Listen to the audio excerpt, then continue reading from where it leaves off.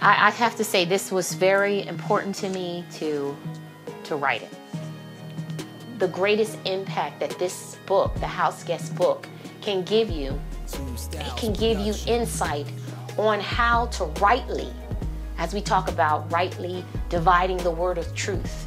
We read the Bible and there's the truth, and then there's people's interpretation.